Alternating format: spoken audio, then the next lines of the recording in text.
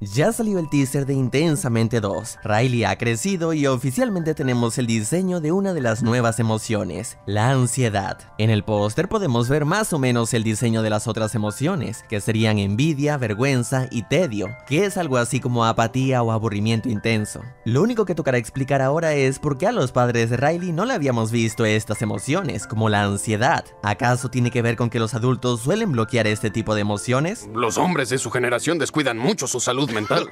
Estaría interesante tocar ese tema. Sea como sea, vimos muchas otras mentes en la primera película, y en ninguna de estas había emociones diferentes. Así que bueno, habrá que ver si lo justifican.